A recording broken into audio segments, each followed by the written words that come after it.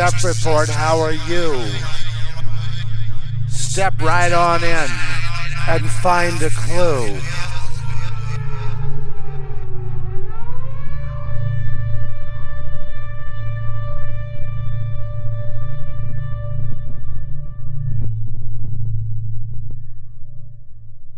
Uh, greetings. In the name of the Most High, Yeshua, Yahusha, Jesus, the One, Yahuwah, Yahweh, Jah, Ayah, Yah, Yah, Yah. The Lord, the sovereign, the true sovereign, the Lamb.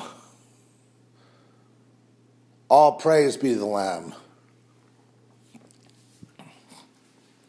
The way, the truth, the life, the light, the light, the sound, the Holy One of Israel.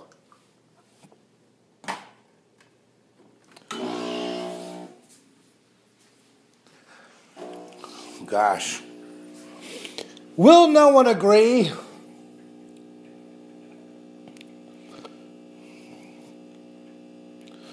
I'll have to catch up on my rest, I think. Coming to you at a the magic hour of 3:02 a.m. Well, whenever you hear this, for me it's 3:02 a.m.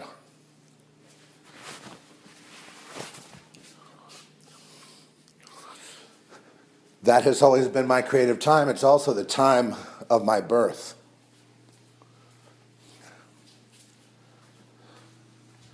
When I came into the world, helpless,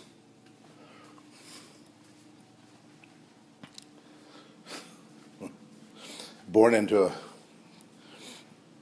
a hostile environment for God, to say the least. Nonetheless, nonetheless, I was a child of God and not maybe not the world.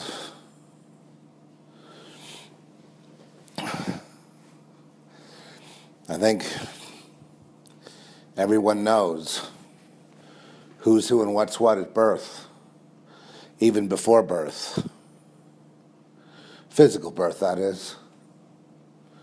In which some people say that we're, in their interpretation, that we're born dead because of the fallen state of humanity. Well, I don't think it's dead necessarily.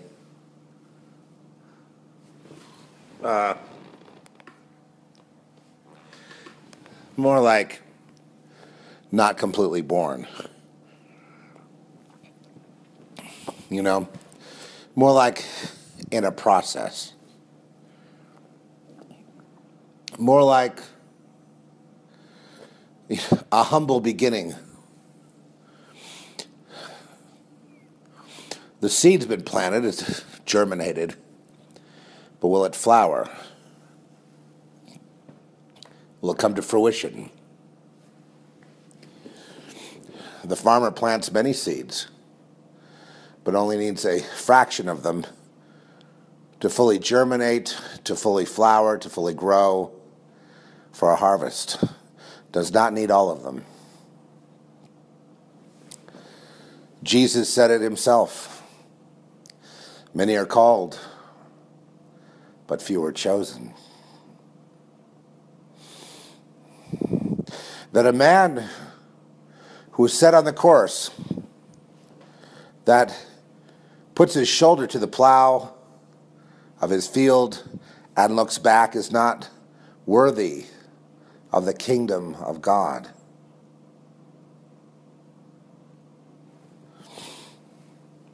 Likewise, Lot's wife, who looked back lovingly on Sodom, the city, was frozen into a pillar of salt.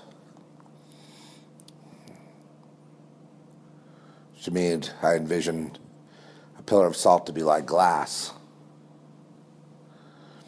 Glass from, say, a nuclear explosion. Obviously, went against the commandment to go and not look back. But obviously, she disobeyed, not believing God. You know, did God say all over again? And the consequences were catastrophic, for her, that is. And for all those who look back, once they've gotten the call and well, I'm not saying it's a deal breaker for you, but certainly when God wants you and you look back, He tends to smack you around a little bit.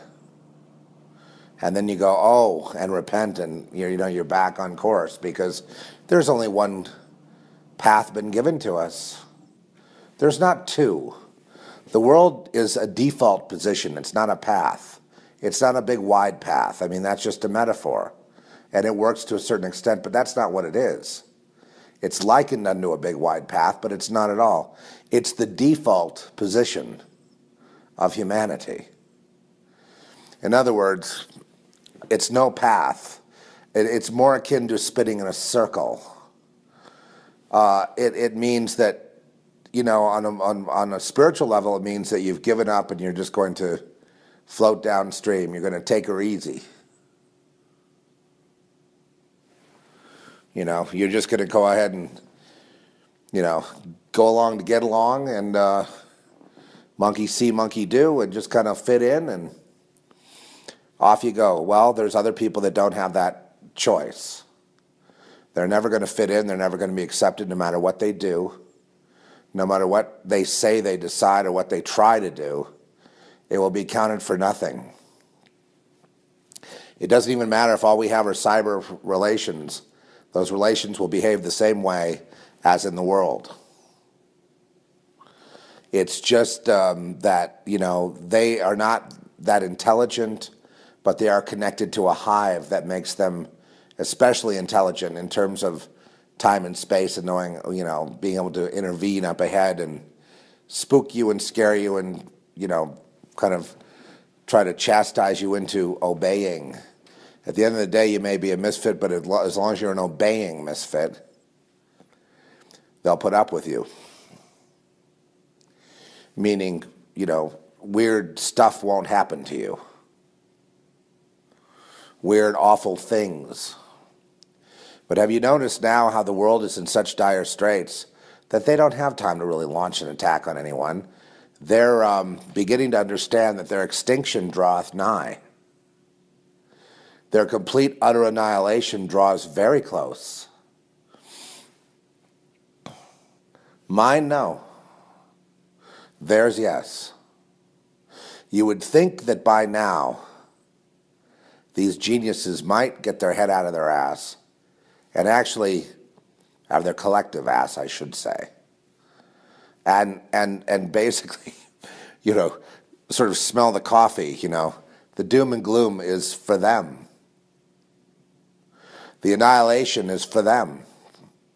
The complete and utter failure of themselves, their families, their children, their elders, uh, all that makes up them uh, is at the door. You would think that instead of playing games and continuing trying to get control of God's children in, in some kind of pissing contest, you would think, and of course I'm alluding to witchcraft, you would think, you know, witchcraft meaning control of the entire world, beast system, etc. You would think that they would, you know, somehow have some slight concern for their own lives. And interestingly enough, ladies and gentlemen, uh, it appears to me, in many cases, that they're so smug in their own lives even now and so arrogant and so above it all that they actually believe they're taken care of. They don't think this snake will bite its tail. They don't think this thing will, will, will, will, will turn back on them. They've been in the system that is taking care of themselves, their parents and grandparents, and everybody, as far as they can tell, since the beginning of time. And they feel if they stay the course, things will just be fantastic. And so the Lord will vex them. And now is the time of vexation. This is not meant for you, lambs. Okay, weirdos and misfits or whatever, you know, not, not yet aware that you're a lamb. Look, it's not meant for you. You are here, as I am here, to witness God's moving. He, it does exist. Um, and the witches all say, Well, I'm, I'm an atheist as far as God's concerned. And then they move the energy around and do their little rituals. I understand. They're at war with God that they say they don't believe in. They're at war with God by trying to control his children and break them down because they can't control them. So to break them down and to break their spirit and to break them into a million pieces and then do a victory dance, not realizing that just behind them is the um, power so great it can snap them like a toothpick that is ready to strike at any moment and is, picking them off one by one around the world and eventually collectively until there are none left. You know, you can't make this stuff up, right? This is what the Bible says about the conclusion of the matter here. The Lord has said in the Old Testament, it's very misunderstood as, you know, obviously Satanists like Obama like to get up there and say, well, what about in Leviticus here? It says that are you going to kill the witches? As a way of putting down Christianity, which he does. Um, a to wit, he is no, not a Christian, you know, as you would think. But he also is not a Muslim either. He is simply a Luciferian uh, in the hierarchy. And that's how he is seen by God. Obviously, in rebellion. So he'll use a mosque to put down, you know, and claim to be a Christian at the uh, prayer breakfast and do a sort of a, you know, this mumbo jumbo, you know, uh, Bible quoting thing, you know, to make himself look good.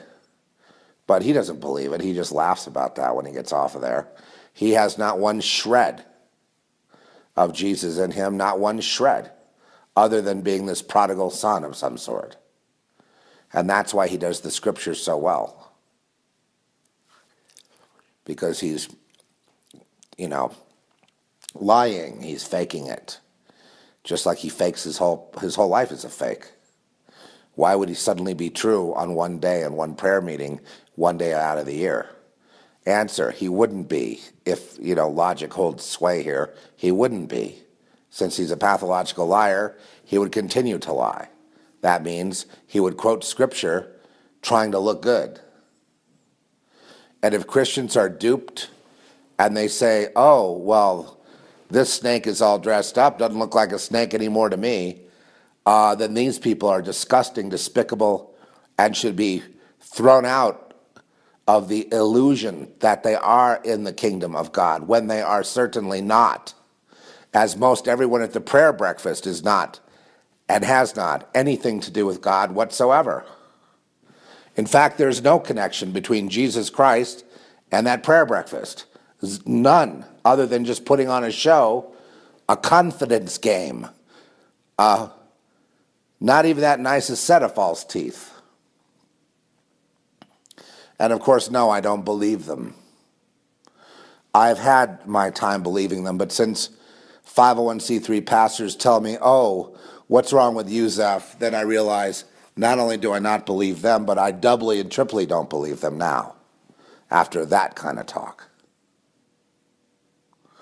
I mean, if a 501c3 preacher says it, boy, oh boy, that's the final end all and be all, ain't it? No, when I hear that, then I know to double down on my, my, my true belief, which is true, that they're phoning it in.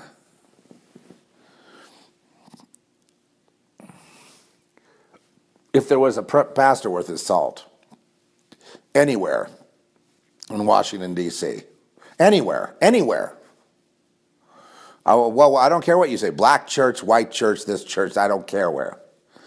They would be screaming about the Luciferian um, ritual setup of the architecture of Washington, D.C. They would be all over that. Like Reagan with the, with the Berlin Wall, they would go to the, the Satan's penis, the obelisk, and say, tear this thing down. This is a blasphemy. This proves that the United States worships Satan. That's the hidden second tier. Obviously, the reflecting pool is about contacting uh, the, the spiritual world and channeling these so called gods. Obviously, the Oval Office, feminine, it represents the vagina and the consummation, or if you like, black magic.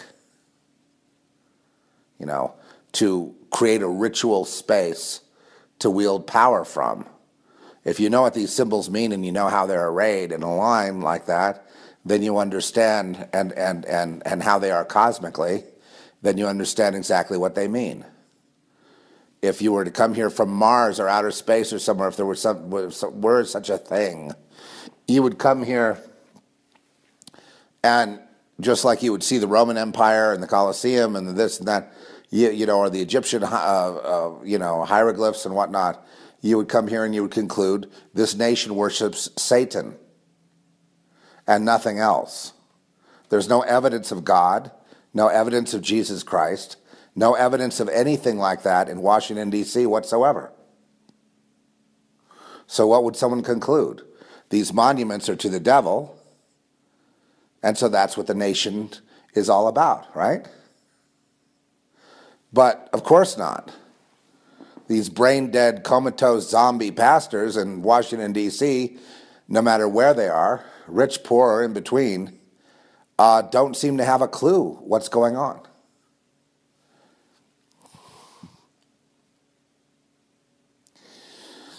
I mean, that's what I would conclude if I were to come here and I've never been on Earth before, and I and I saw, I went to the to, to the capital of the United States, and I were to see these buildings and the various other gargoyles and whatnot, and all these little demons and, and, and lifting up Luciferians like Albert Pike and stuff uh, in, in, statue form, I would simply conclude, uh, having Washington in a Baphomet pose and all that, uh, wearing a Greek outfit, uh, you know, or a Romanesque uh, um, toga or whatever, I would simply conclude the obvious.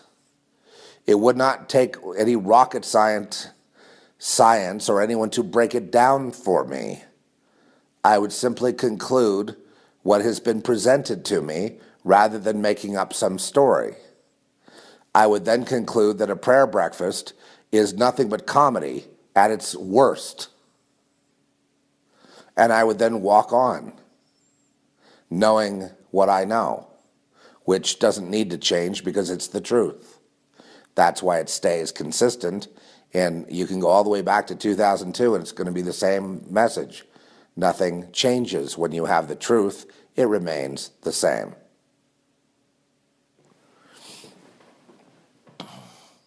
It's only by the grace and power of God. Well, if I were Billy Graham, I would have said something, don't you? Wouldn't you? Don't you think? It, when I came to the Lord, I tried to find a church, and all I found were Satanists. You know what I mean?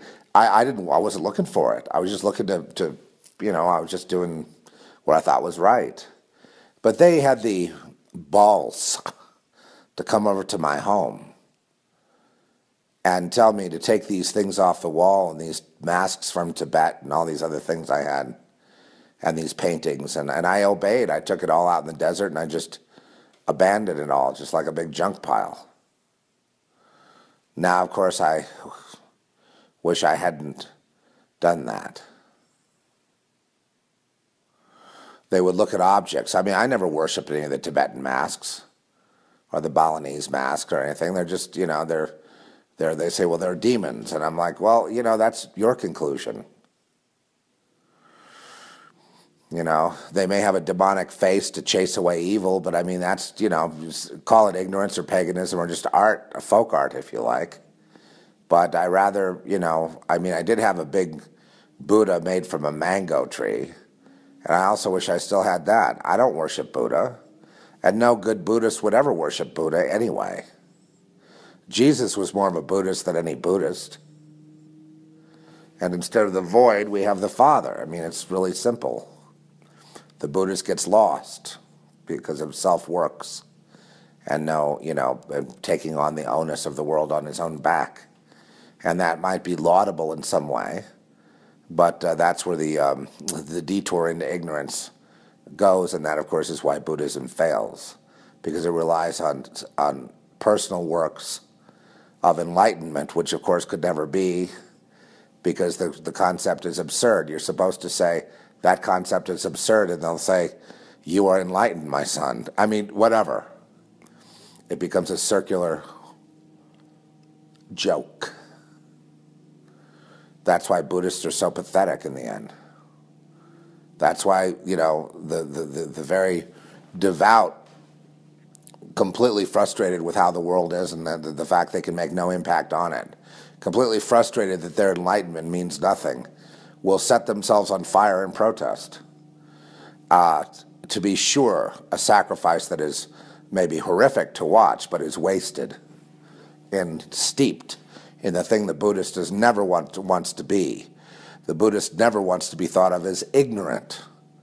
However, the Buddhist is ignorant because the Buddhist has taken, at least the ones who are pursuing the, the more pure path, have taken the wrong route, whether it be Zen or Chan or the original Indian Buddhism or the Hinayana path or the Mahayana path. It does not matter.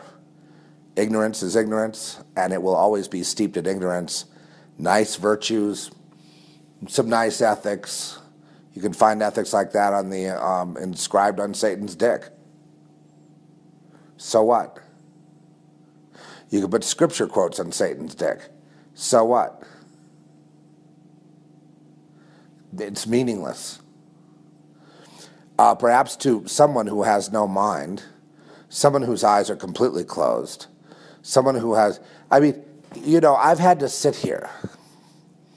I'd be assaulted by the likes of this Ted Cruz guy. Sending all these emails in my email box about how he's praying and to bring forth Christ and all this stuff when he's as guilty and as dirty as you can possibly get. He does all this Jesus dance and then he goes out lying and sending up a storm in the name of Jesus, and he seems to have no problem. No, his conscience obviously does not kick in. You know, some of the dirtiest stuff I've seen comes from that idiot. Anyone who votes for him is obviously, like he is, steeped in ignorance. I think he actually believes that Jesus is like this genie in a bottle, that he just bring forth Christ and we win the election. You know, I mean, I think he's that far gone or that unenlightened or that you know uh, or that spiritual that, that a man devoid of any Holy Spirit. You know, he likes to make a show of his Christianity by putting his knees on the concrete ground and praying in front of the cameras. And then he goes in his emails and he starts lying and begging for money and just being like the typical shark. Well, what is it, Mr. Cruz? What's your choice here? I'll give you the answer. You know, I can cut to the chase where nobody else can really, because I, like the Donald, I have no affiliation. Let me let me let just lay this on you, Ted. It's not your up to you, and it's not about you. Align yourself with the Lord or don't. But you're not going to fool people who know the Lord.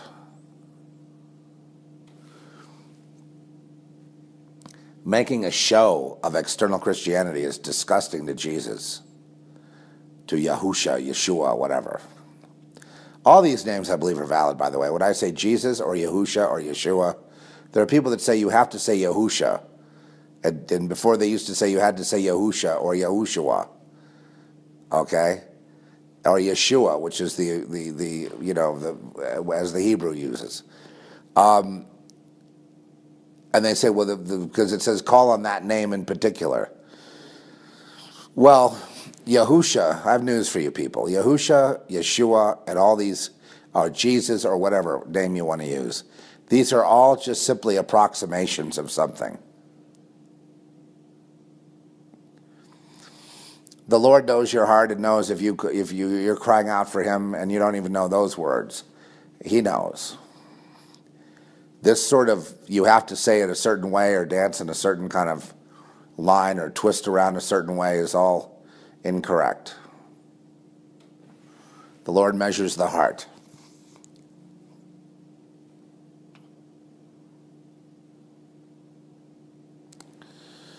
But but it's okay. You know, I'm, I'm not here to fight that fight.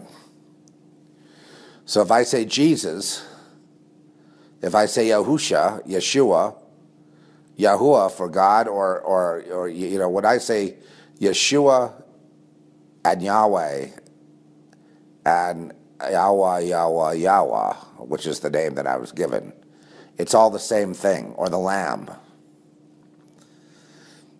It's all the same thing, or the King, or the Sovereign. It's all the same thing. The Creator of the world, the true light the creator and the savior, the, the beginning and the end, the Alpha and Omega, the water of life. That. I am that I am, Yahweh, the, the, the, the I am.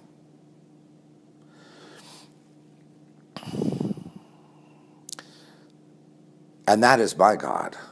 But I am also I am.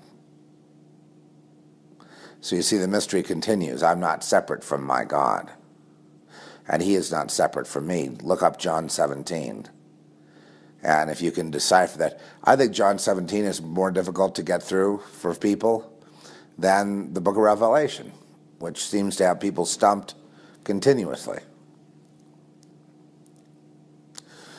No worries on you, though I was going to add something to say about the mark of the beast. The mark of the beast, they're working on a tattoo that you know that will take care of. Some people say there'll be uh, an enticement to get this mark of the beast, but the, I went back into the book of Revelation and I realized that the book is actually saying that in order to buy or sell, you have to have this, and that you know when when when men wanted to die when they're getting stung by a locust, those not written in the Lamb's Book of Life.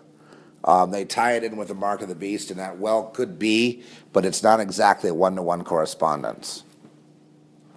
In other words, that the mark of the beast that takes you out of the Lamb's book of life makes you susceptible to these stings of these scorpions and you're not able to die because you have some sort of life extension technology in the mark of the beast. I think that's stretching. I think that's speculation there. I think if we keep it to the to the state of buying and selling, and a requirement of the state that you be um, given this little tattoo, and they'll say it's innocent, just like you know you get a little stamp to go in the movie theater, or, or rather they do the party or into the show or into the whatever, you know. And they remember you used to put it under a little light, and you could see that you had the little stamp, and they'll say it's nothing more or less than that, and it's uh, because we have a cashless society. It's the only way you can really buy or sell. I think if we keep it on that level and realize that that you know, but but they say that it's got to be some kind of tampering because the Lamb's Book of Life is about DNA, and, and indeed it is. Um, but I think that tampering perhaps could be, and this is my own speculation, an unwitting change in DNA that people aren't aware of. That's why the pastors have to be very, very keen on cautioning the flocks to before they go getting chipped or even better, tattooed, because in the in the Hebrew and the and the in the um, Aramaic and and, and uh, in the Greek, uh, when you see this mark, uh, the translation or the approximation of translation uh, is more akin to tattoo because a tattoo goes in the skin, right? Goes in the skin. It's underneath the skin. It's in the skin or in the forehead, yes? So that a tattoo would be more likely. And so I've been reading lately that there's a company that has made this tattoo. It has a tattoo ready to go. And they put it in your, you know, on your wrist or whatever as a means of identification. And it'll help you to sail through the airport or make sure you get, instead of going through the TSA thing, you can go right through. Um, you know, the security restrictions will be off of you.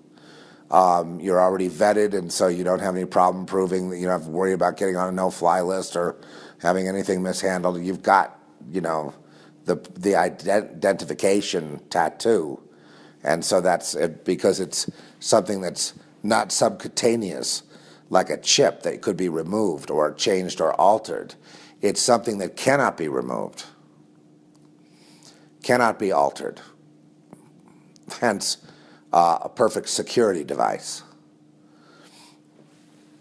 And I imagine we're going to see a lot of young people running to get this device. And it's tragic because we are seeing a generation lost not because of their behavior, but sacrificed because of their parents. I don't know why the Lord just gave me that word. That is horrifying, Lord. I don't want to say that to the people. To sacrifice, because people are concerned about the young people. They know they, they want uh, a dictatorship. They want uh, political correctness enforced. They want, you know, I'm sure they want people to be killed as well. They're not the same kind of people. There's something kind of off with them, like they're not quite intact as all the other generations of children have been. And, you know, I, I believe that this is a judgment of God. I believe the reason they're not the same or they're different is to, as, a, um, as a marker of an end of humanity as we know it, but also uh, to mark a, a beginning point for the unraveling of, you know, the entire thing. Already you have Citibank screaming and yelling that the world is in a financial complete collapse and meltdown. You have Obama having gotten on the airwaves to say the economy's not that bad. We, we saved it. Um, you know, I mean, but again, the reason that he doesn't get press coverage is because every time he speaks, he lies. And people are bored with him. Hence, the power that he was wielding over the Congress, which is why they, he rolled them, not because of himself, but because he was endued with power, and that power can make unfortunate accidents occur to people that would challenge him in any way, shape, or form. And that power is now weaning, waning, and as it wanes away, you will see enemies of, of his come forth with tremendous strength. And um, for the people who think that somehow all these people get away with all their Satanism and all their um, lying and all their um, wars for personal profits and all their beheading of Christians through ISIS, their proxy army, that they'll never get caught for any of this stuff. Got another thing coming. They already are. As I'm saying it, the whole world knows it. It's just that the, there are people that are on the same spiritual side as Obama. And so they will cover for him about ISIS or anything else, or Hillary or whatever, the rest of them. Uh, the, all this criminality is okay with them because they too are criminals. They agree with the criminality, they've consented to it. They want the corruption, they want the um, totalitarian regime, they want people punished for, for existing. They want um, I'm sorry, punished for existing, but given the elixir of immorality Uh, you know, no longer do you have to worry about what the Bible says or morals. You can kind of do whatever your libido wants it to do, and you're fine. Uh, that's given to them as a consolation prize for their consenting corruption.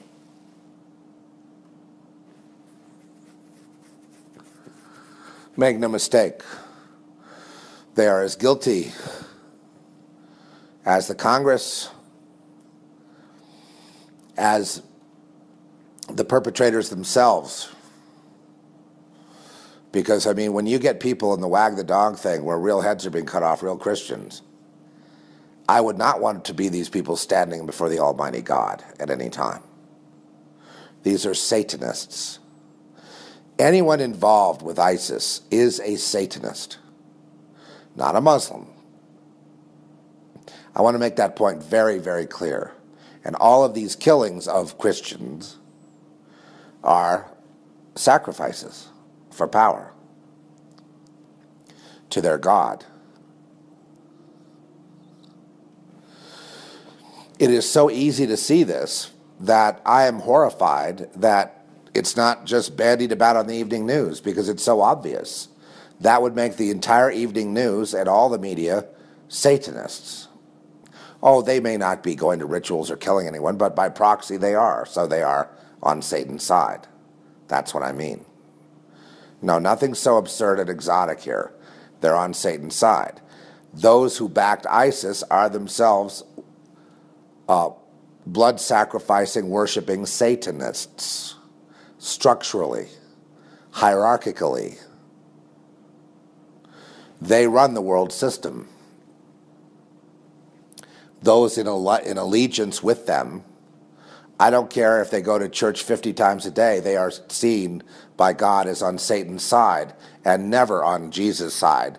If they worship 25,000 times a day, they are not seen as Christian. You know, Christian's a bad word, even. They're not seen as children of God because they're not. The Lord is the only one that can make you a child of the Most High God. He makes you that. You don't just become that when you decide to. Besides, the Bible acts like it's progressive, but let's face it, before we're born, it's already decided what we are. It's not like you progress into being a child of God. I know they had Nimrod progressing into being like a Nephilim, a child of the devil. Um, but before Nimrod was born, he's a child of the devil. You understand? This progressive thing is something we do in 3D time space, but it's it's not right. It's not real. In the end, there's everything is what it is.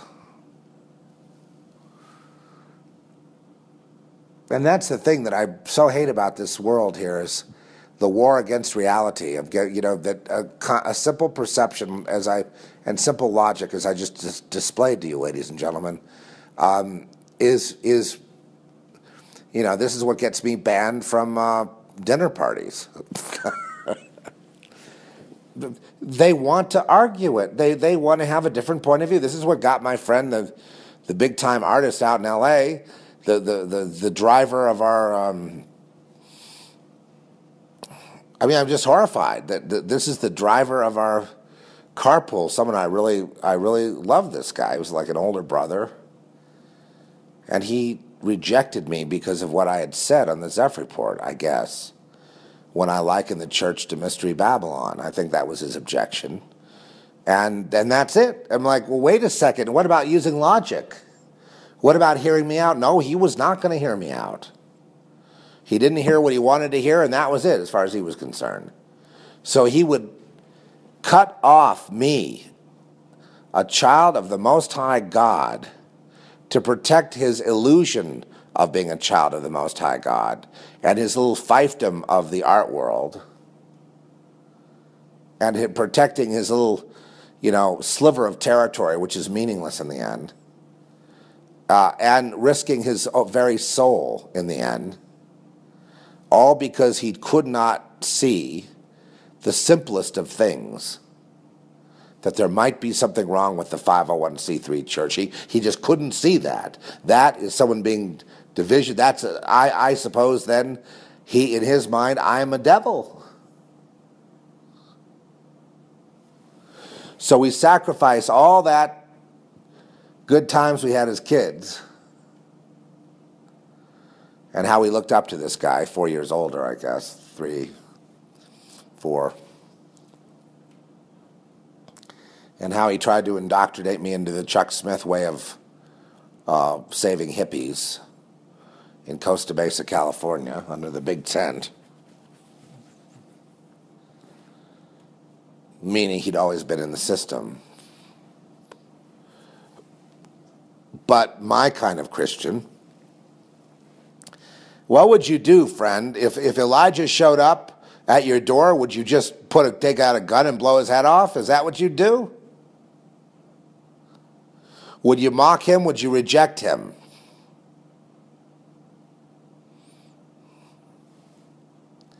Well, what would he do? I can tell you this if Elijah, Elijah showed up today in America's church, any 501c3, I don't care whether it's Catholic, Protestant, this, that denomination, it doesn't matter, uh, he would be um, rejected utterly. And then he would go out and he would find his own among the masses. And those masses that he would find would not be acceptable in the modern church system. But they would be the children of God, not the ones in the buildings with the steeples and the crosses and the little outfits and the little collars and all their cute paraphernalia. Um, no. They would be uh, rejected by God from the get go for posing as God, for presenting a false gospel and a false God, you know, steering it the way they want or the way they're, um, you know, jump through the hoop divinity school, which is run by Satan. Uh, basically, what they get taught in divinity school, they're going to regurgitate so they can keep their little job and their little assignment of a church somewhere in the middle of wherever it is. And really, what they ultimately want to do is control the people of a particular town and make sure they all stay on the same uh, course and they all stay on the same page with Satan. That they all stay completely unsaved while saying they're saved in a double minded um, opera of complete division, deceit, and destruction worldwide. In China, George Bush went to the church during the Olympics. The above ground approved of church in China he said it was fantastic. Meanwhile, the real Christians there are being persecuted and killed for just having a Bible while he's doing a little jig. So, how is he not a Satanist? Answer He's a big time Satanist, and there is no other way of looking at it based on the evidence of his approval of the fake communist church.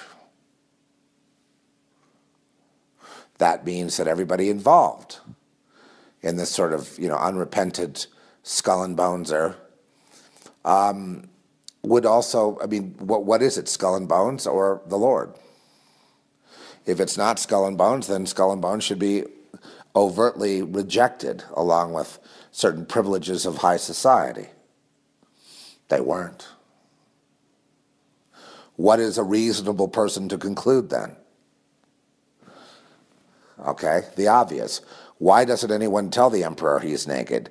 Because they're afraid of, of excoriation, because they're afraid of, of, of, of, of, of being arrested, they're afraid of being hurt. So we all live in this little Disneyland bubble, and I was told by a young person the other day, just go along with it, it's a lot easier.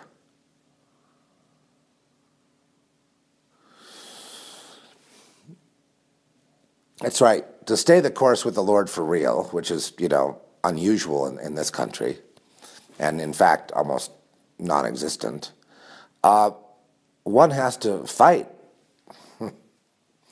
yeah, one, one has to actually fight people that claim to be experts in this quote religion unquote. One has to fight with, with, with things that happen that are unfair and untoward that are popping right out of the blue. Just, just unfair treatment out of nowhere.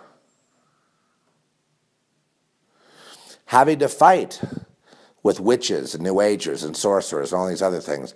These people run our society. They're the ones who approve of the churches and put the rules in place. Oh, now they're all screaming Islam, but that's a ruse. They don't believe in that. They're using that to enslave the, the world's population. They're using migration, Islam, everything else. And ultimately, they're going to, you know, do some mass killing and a bloodbath to uh, get rid of the people of the Lord. These are the most ignorant people that have ever. Obama leads the stupidest of the stupid. He's one of the stupidest people, actually, that has ever drawn breath and has ever held any office anywhere. He sounds smart, yes, with a script or whatever, but he's actually incredibly stupid because he prides himself on knowing something or uh, another. He doesn't know history. He doesn't know um, the obviously God. He has nothing but sycophants and and and uh, suck ups counseling him on how to act like a Christian. Uh, you know, you know, acting teachers to you know. He, he does this prayer breakfast thing, and is is is such a yawn that I, I, I have to actually I have to turn it off. I have to walk away because I he so sullies himself before the Lord. He so embarrasses himself before the kingdom of God. He's so he's so um, unbelieving of anything. He just believes he is what's happening, and as he gets older, it makes no dent on him whatsoever. This is a man in need of great tragedy in his life. This is a man who needs, but will be denied, great tragedy. Because great tragedy would change him. So he will be spared great tragedy in order to keep up.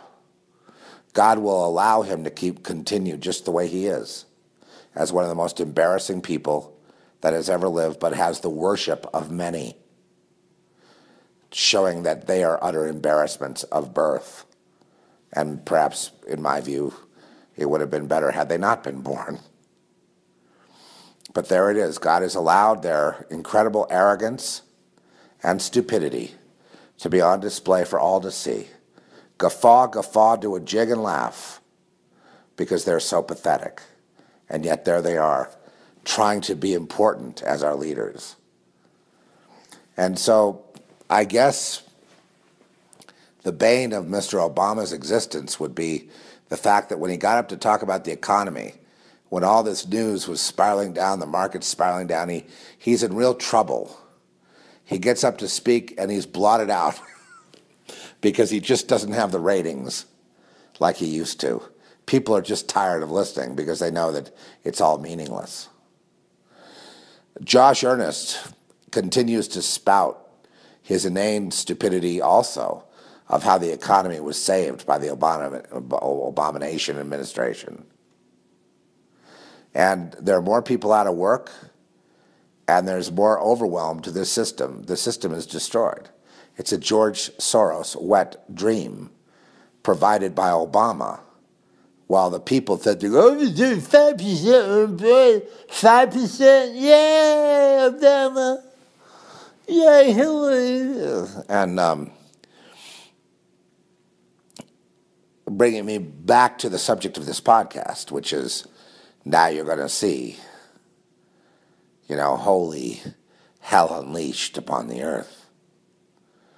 And it's not for you. You are here to be a witness of them. And the good may be killed with the bad. I mean, that's just, you know, that's just the way it's going to be. But um, you're here as a witness. You must really strengthen your faith in the Lord do what you've got to do. I mean, I have a, a lot of work in that regard because I'm fighting off all kinds of things and I'm noticing internally my own weaknesses and my own foibles and a lot of my own things that need to be strengthened and I just feel terrible too. You talk about embarrassment. I mean, I'm I know to be embarrassed over my own behavior though, you see. I know to be embarrassed over my weaknesses within. I know that I have flesh and all kinds of proclivities and things that have, you know, maybe no fault of my own, but things that, that, that open me up to, um, you know, attacks from the other side, let's say. And, you know, these are things that I, I've, you, you need deliverance from, and these are doors that need to be shut. And I feel terrible about that. I, I always said I was a sinner here, and I'm no good in that way, you know, not not an example, a role model, certainly. And things that have plagued me since childhood, you know, that I just couldn't seem to shake, you know, and and no, it's not my fault, but it's it's I gotta I gotta deal with it. I'm sure you have things like that too. So a lot of the problem we have in being fervent, you know, is we don't have the illusion of the satanic Disneyland pastor or Disneyland workers of God. You know what I mean? That's the you know the church system. We don't have that at our back, you know, backing us up. You know, so we have a lot of self-loathing. We got a lot of people, you know, self-medicating and self-loathing. You know, and just are embarrassed of themselves and don't want to, can't present themselves as some kind of, you know, someone worthy of speaking and, and, and dividing the word before the public or on YouTube or wherever. They, they don't. And uh, certainly I have to preface all this by saying, look, look at me, a mess. But I fought back, you know, and, um, you know, what the witches want to do with me is they want me to just give up. Well, they come and they go, you know, throughout my life, and they want me to give up. And they can, they're men and women. It's part of the system. It's not, you know, let's not get into the, you know, the, the, the kind of fairy tale thing here, okay? And um, they just want me to kind of go along, give up, and they try to show me my, my sins, you know, show me my weaknesses, show me how I'm, it's ridiculous that I would try to be this man of God or even attempt to, to, to share things of the spiritual journey with people because I'm obviously not worthy. Show me where I fall short. You know what I mean? They show me where I, you know, therefore, I should just take it easy on myself and just kind of submit to their humiliation of me and, you know, and make my life into one big fetish, I suppose.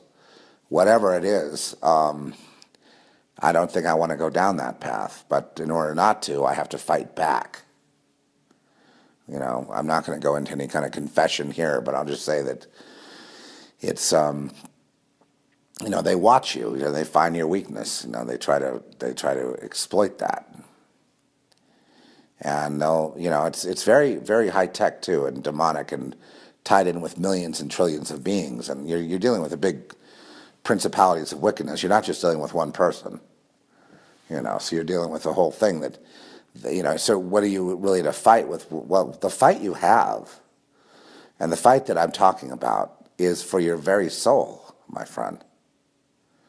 And I have to fight for mine because if I just take my eyes off the ball one second, given my own weaknesses and everything else, meaning off the Lord, um, they could they could have, do what they will with being a New York minute. I mean, they could just have me. They could uh, they could put me on a conveyor belt and slice me up and sell me at the market. I mean, they can do all kinds of things, you know, that, that, uh, that if the Lord doesn't intervene, I'm, I mean, on a daily basis, and, and several times a day, if he doesn't intervene, um, you know, they'll, they'll have their way.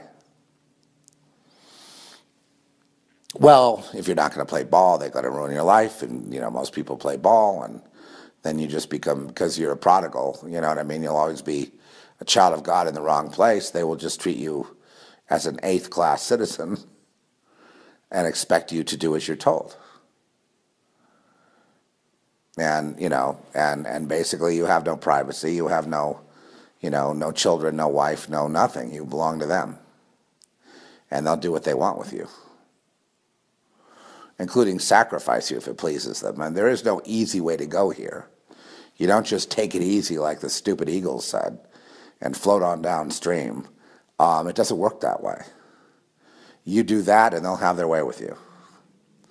Unless you're one of them. And then, you know, but then you, you would have known that when you were eight years old. I mean, you know, there's just no easy way here. Let me just put it this way for you prodigals they're not your friend you can you can do whatever they say, play the game, try to work your way up in the schmoozing thing. For all your effort, you'll get maybe 10% back on your 100% effort. If you're one of them, they make 50% effort and they get 300% back. Now, by now you should have noticed that discrepancy. And that will determine who you belong to. I rest my case. I'm, I'm not going to go through this over and over again with you people. You know, I'm assuming that you all know who, where you're at and who you are by now. If you're a child of God, you know, but you hate the church and you hate the whole Christianity, well, the, this ought to be good for you to hear then this podcast. But nonetheless, we still have to understand. I was here I, in my mind. Oh, there was a, you know, go ask Alice. You know, the Jefferson airplane. I was marveling at what a great mix and a great vocal mix for Grace Slick that was. I mean, that was just so powerful of a track. And then I had images could smell the marijuana. I could see the little rainbow thing around the lights from taking mescaline, you know, and smoking dope and hanging around when bands would be playing in the dark. There are bands everywhere, you know what I mean? And, and uh, you know, like guitar, bass, and drum just jamming for, you know, hours while the smoke is wafting up. And then they're playing records like, you know, Go Ask Alice and, and Don't You Want Somebody to Love and all those things, you know, and, and, all the rest of the music that came at that time. But this song was very iconic of hallucinogenic, you know, feed your head and all that, you know. And I was just marveling at the top down control and, and pressure and structure of the rituals, my friend. I mean, there wasn't this free form thing going on, like, oh, it's. It was a structural free form that was enforced. Just like you don't have to go to school here, and we have a. Prog- uh, my school became progressive, so they said if you don't want to show up to class, you don't have to. Whatever you, it was like it was like you know Common Core on steroids. If well, whatever you think it is, it is. You know what I mean? It was like all that coming out of that whole program, top down, top down. So go ask Alice was top down control. It wasn't some free form thing. I mean, they obviously the artists, whatever they thought, it doesn't matter. They were used. You see, it was in for the smoke wafting up and people lying around and on the floor. It's all dark, and you know they're kind of having sex with each other, or they're they're finding drugs to take, and they're or they're just really grooving to the music. You know, they're just kind of like be here now, and there's all this influence of Eastern religions, and you know the smoke is wafting up, and the incense is burning, and you're in some private house at a party, and there's this, you know, there's three guys jamming in the dark. You know, no lights on them, right? No lights. You can see the lights of their amplifiers glowing. You know, the drums were not mic; they're just there. You know, and they're they're jamming like it's cool, man. They're just they're just getting into all kinds of interesting, you know, jamming. And you think, oh, how free.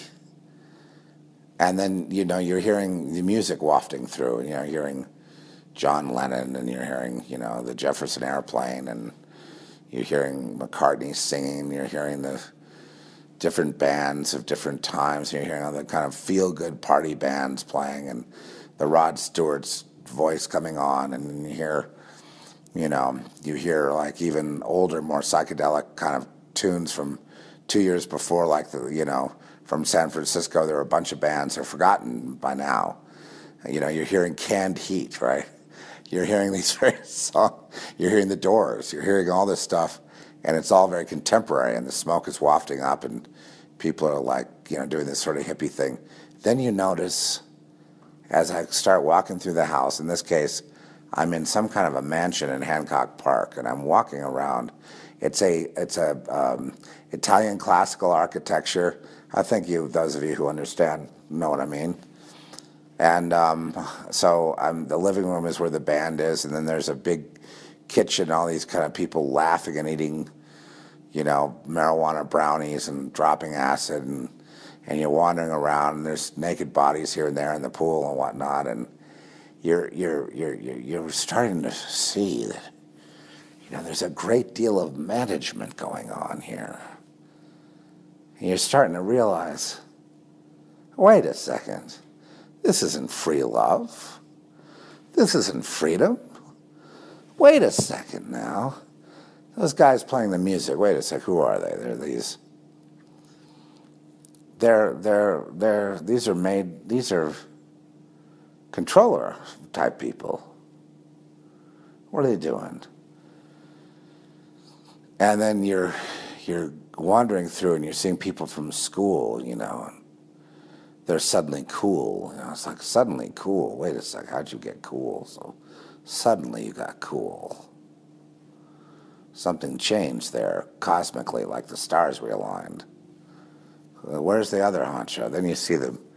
There'll be the gal there, acting like she's sort of partying, but she's watching very closely, making sure everything is going just so in a very structural manner. And you're seeing other people, you know, here and there kind of with a gentle hand of managing, but trying to look like they're not managing. And then you go back and look at all these parties that you went to, and you realize they were all managed from a top down, hyper control standpoint. I mean, really severe. So there wasn't just lying around being hippies on the floor and getting off on stuff and free to be like children exploring consciousness and one another and no no it was all enforced. Every once in a while there'd be somebody who'd go from uncool to cool. You know they suddenly got like real cool. They was then wearing the clothes but there's something changed in them. And you're seeing these these invasion of the body snatchers you know is what's making them cool you know.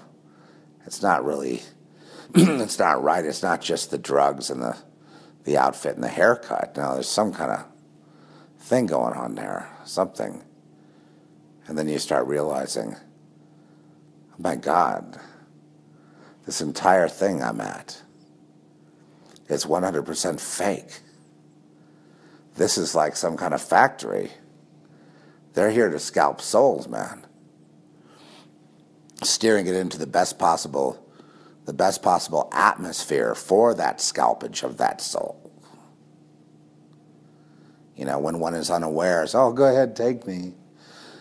And um, then I'm wondering, how come there are not more murders around here? It seems that you could just kill all these people and it would be, you know, cleaned up by the morning. Something is frightening me at this point, in other words. And I must be on my way. And then Jimi Hendrix comes on. And then it's like all cool, and you get outside, and you see those old street lamps in Hancock Park. They have a big rainbow glow around each one, probably from the mescaline. then you, you know, you get your way down.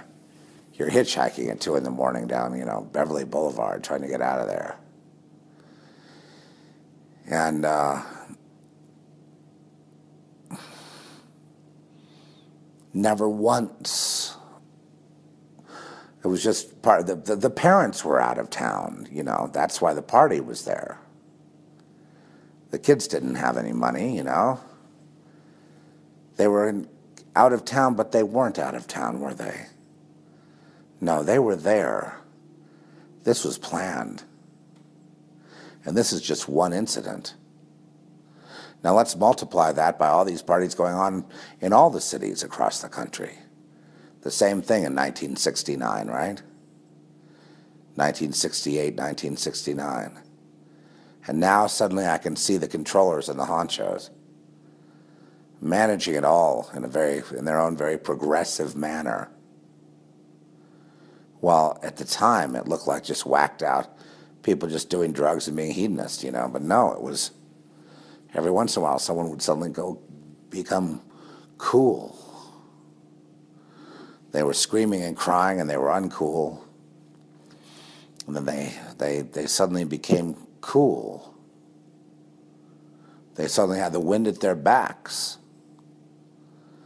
And these parties were like a, and social cliques were like a, some sort of milieu for that sort of thing, for turning the frog into a prince.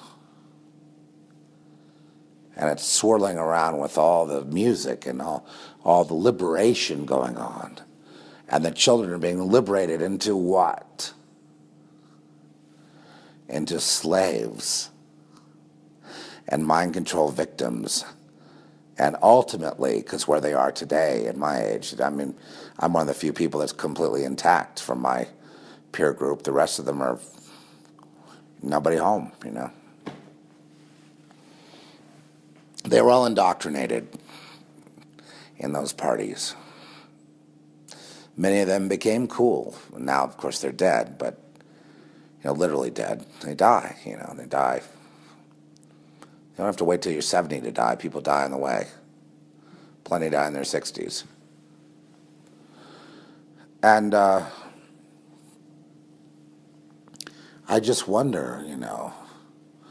And um, they would have their VWs, their VW vans, try to act like vagabonds, and they got their, you know, lid of weed, and they're smoking and driving around in their van looking for girls to put in the back and have sex with, and and it was all everything. It was all just orchestrated.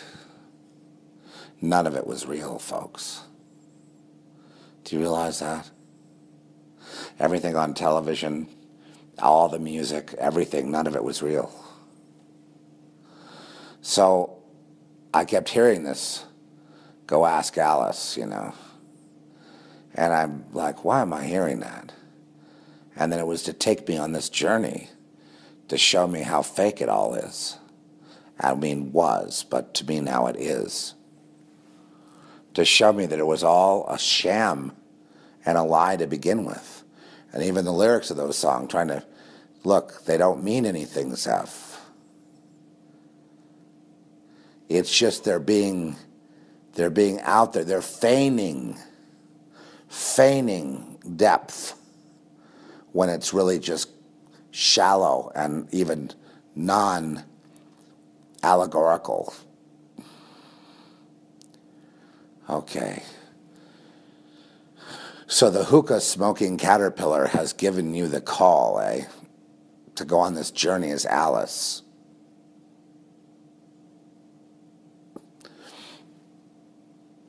And the bottom line is at the end of the day, it's just a satanic ritual. It's the birth of Alice as something dead as a dead girl celebrated in her transformation. Now, all of you children do likewise. Go ask Alice. Go on the same journey. You'll be glad you did. Take her easy. See on down the trail. Thanks, Mom. Thanks, Dad. Yeah, well, same thing every generation, kid. Nod, and wink. Yeah. So tell me what that is. Well, what it is is this is a person who loses their soul but gains the world. Ah, like the Bible says. Es correcto. They lose their soul in exchange for the world. That is, yes, now you're right. See, 2 plus 2 really does equal 4 in the end. But for all intents and purposes, it's 6. See, that way, they know you're going to play. That way, they know they got something from you. Here, you can have my soul. Every time someone tries to grab that soul, someone gets killed, Zeph. That's a problem. Yeah, but I'm not doing it. No, you see, I'm not really going to be offering my soul um, because I don't want to see anyone get. I just don't want any trouble. You know, I just want to quietly go with my Lord. If If that's okay with you all out there who think you're so cocky and think you can just beat me, well, anyone could beat me, but what happens if he wants me? You didn't think of that part. Well, look at all the trail of bodies. Obviously, he wants me to be around. You know, until he doesn't, I guess. Who knows when that'll be? Anyway, what I'm alluding to is, you know, the, the, the, the, the spiritual warfare the ongoing throughout the, especially in my youth, you know. And, and today, a lot of those people have passed on, you know, some through normal, whatever, just old age, others through cancer and various things. But it's just weird how I'm here and they're not. And they were leading like this one guy, he was tallying up the whole thing. I said, "What are you what are you doing?" It's and then he was you know keeping book on them gambling on me. And he said you know it's like we're all all the lambs are like being gambled on like like a horse race. To whether they be killed or whether they be initiated one or the other. And i'm like that's not well anyway that guy's dead. So he reached out to me on facebook. And i always thought he was alive. And then i found out he died in 2014 i saw him on a video. In 2000 12 school reunion thing. And he looked like he was in tip top health. But that whole gambling thing was doing, he, he thinks I don't remember that, but I remember that. That was another party where mom and dad were away and and the purpose of the party was a top down, structural um, all these parties were like, you know, induction centers. Kind of like, you know, you know, I had this thing about the moon where there was a, a soul scalping device there, you know, and then, I mean, that, I didn't think much of it. I thought it was just a fantasy, a, a vision I had. And then until John Lear came up and said the same thing, I'm like, oh, that freaked me out. And it was a few years later that he said that. And uh, I'd seen something else there too. I think it was another dimension. I think I was just like I was taken that that that, that happened to me a lot. Where I was just taken places, you know, and shown things. Anyway, it's more complex than people know. The whole hierarchy and structure of all this stuff, and you know the beings that you don't see, and what runs the world, and you know, and it just when I'm looking at the party I see, the party is happening in an ant farm. You know what I mean? And the you know how it is when you have an ant farm and you kind of you know want the ants to build a certain way, or you know how you kind of shape what the ants are going to do, and you watch them. I mean that's kind of it, right? So these parties are like harvest centers where they are taking souls of people and then rendering them cool. And induction centers, and it was all very structural. The drugs, the drink, the um, you know the love-ins, the music, the event had nothing to do with what it appeared to be on the surface. It had to do with commodities. Can't believe it. So that's why the song came into my mind. Because ultimately, even though Grace sings it very powerfully, it's about nothing. It's about nothing. It's about less than nothing the song is completely, utterly insignificant and irrelevant because it's simply a pacifier, a, a nudger that will nudge someone in a certain direction for the purpose of the top down, hierarchical, totalitarian scalpola. Yeah. yeah, baby. That's why am I going back to the past? Because the past, as I wrote in my lyrics, you know, that Trish sung so beautifully, um, past isn't dead. So I just wandered through those they were like twin brothers out there in Hancock Park. You know, they were. I guess they played guitar and they had their amplifiers on, and they were, but they were they were honchos. They were, they were moving things a certain direction. They were on the team, as it were, on the inside track. Not cool at all. More like, you know, I, the the way I look at these guys are more akin to uh, who had this party. There's more akin to, which is why I went and visited, you know, one of many different parties, but more akin to um, the the Nazi brown shirts is what I look at them at now. In other words, they were there reporting back to the enemy, the enemy of humanity, that is, seeing which ones they could get. Acting like it's all peace, love, groovy, man. It's just psychedelic, you know. It's just all cool. It's just all whatever. It's, you know, just do your thing, man. You know what I mean? It's like, you know, love who you want or don't, you know, just, it's all free, you know. It's all cool, man. You know, here's some, whatever kind of your flavor of drug or poison is, whatever, just kind of blow your mind, man. You know, just blow your mind. But it wasn't like just go blow your mind, was it? Like do your own thing. No, there was no do you. This was very strict. Everyone was watched. Everyone was corralled. Everyone was nudged. Everyone was moved. And, you know, they would tally up the night by how many they got.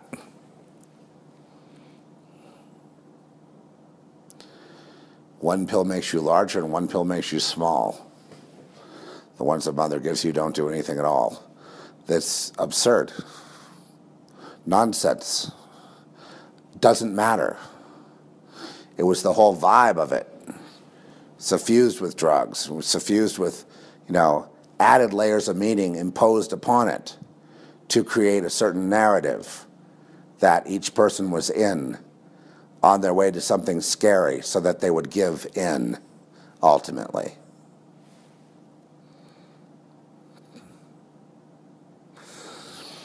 Like Go Ask Alice, so sung so fervently, like it was so important when obviously it was nonsense.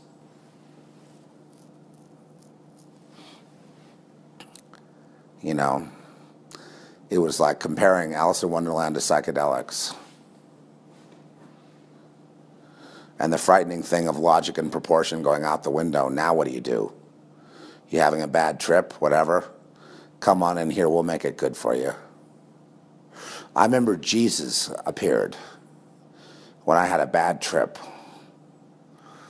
And, you know, the handlers were working on me, you know.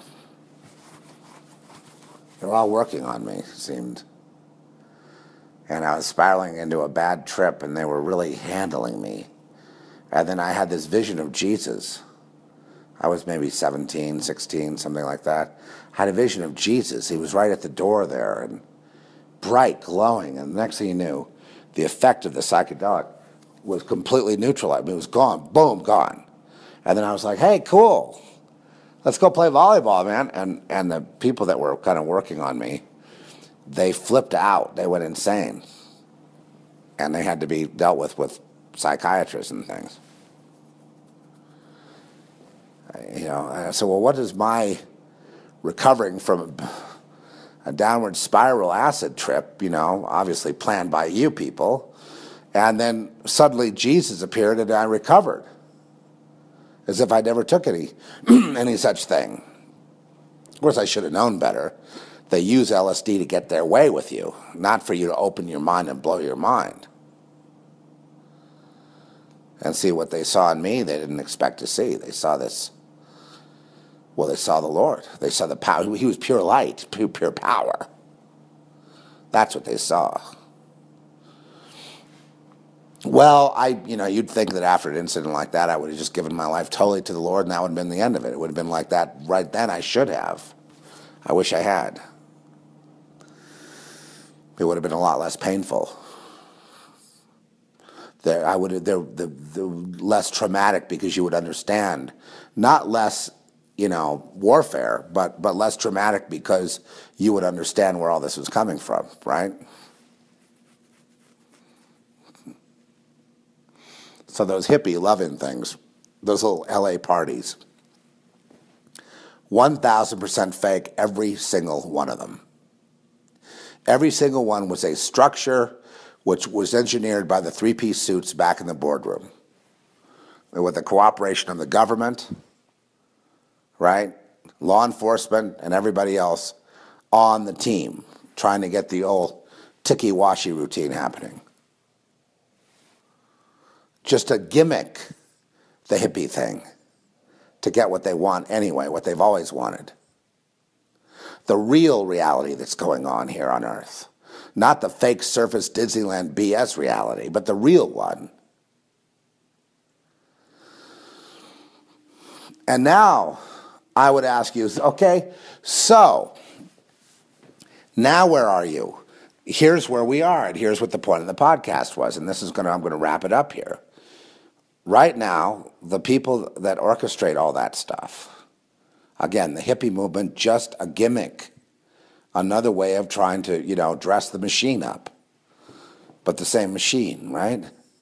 Right now, their lives are in the balance, all these so called honchos and all I mean, this generation, the new generation. And they're going to be sacrificed in a blood sacrifice as a rebuke to their parents and to the whole world and to the society itself. The mass suicides will begin not that long from now. And they'll keep putting a good face on it, like, well, things are going pretty well. It's like Obama. He gets out talking about the economy. He says, oh, it's going well. I saved it. It's like, sir, you have, you know, over half your people unemployed. And, you know, the ma- major banks screaming that it's over. And he's out there parading around like the, the, the fool he really is as if anything he says matters anyway to anyone for any reason, which it doesn't. They just give him, you know, they nod nod at him and like they're listening while they're yawning and falling asleep.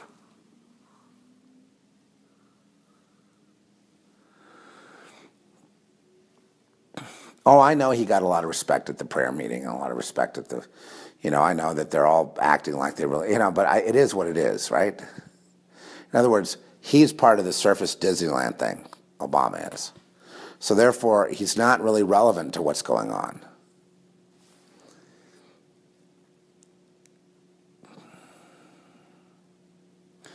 So all this pain and suffering that is to come will affect mainly them, the worlders, by showing them that the zero sum game they've been enjoying so deliciously has been revoked. And everything about these people is a failure, a screaming, haughty, insipid, stupid, ridiculous, unnecessary failure as it all comes crashing down.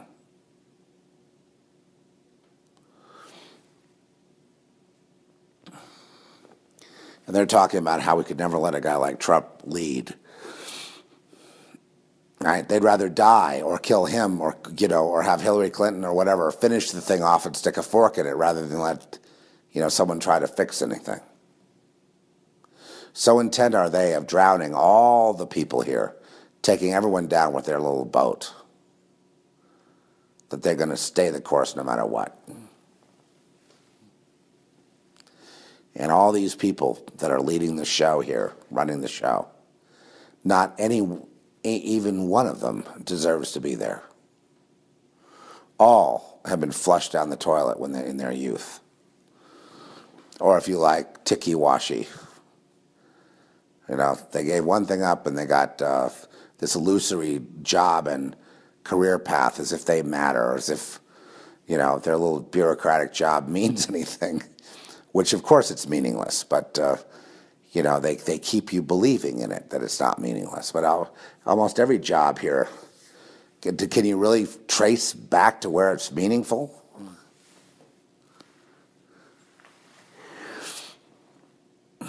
The ho hum thing, you know, it's, really difficult for me because I feel all this overwhelm right now, a tremendous overwhelm of, of uh, negativity in the spiritual realm, you know, and I just, I see this the war, you know, and I see this that's uncovered by Donald Trump, you know, with his escapades. So the other day, you know, I was talking about cussing, and I've I said BS, but I mean, I, you know, it's been curbed a lot. You may notice, but he let the f bomb fly, and the, the, you know, he's doing it to show the hypocrisy of all the, you know, news agency and everybody who's all upset. And Jeb Bush seizes on it, saying, "You can't be president if you talk like that." You know, like like, well, what's the Bush family involved in in the back room? You know, not that I want to know, but I mean, how do they get so squeaky clean to make that judgment? Like they never say the f bomb. Yeah, well, we would never say it on TV like that. Again, hypocrites.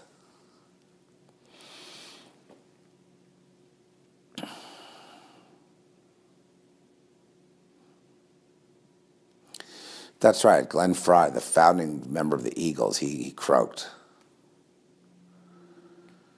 Yeah. They tried to blend the kind of like cool satanic thing in with the country and rock and came up with this sort of feminized hybrid thing. Um, well, my only advice to them would have been, you know, while the guy was still alive, why don't you just come out and say what you mean?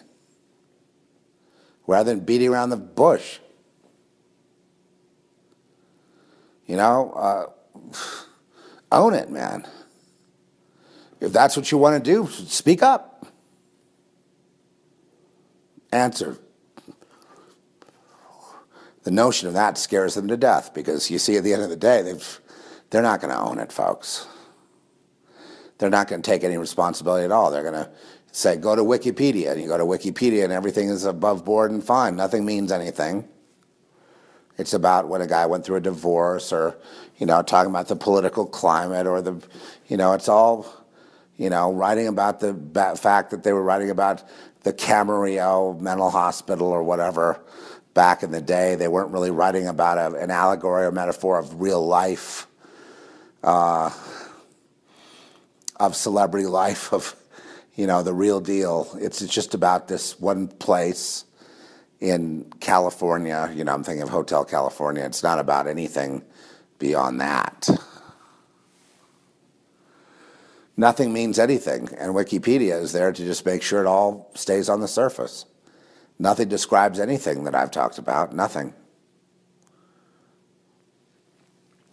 Trish was telling me that they were using this low spark of high heeled boys to kind of get people into this orgy thing of some party she went to when she was in her youth.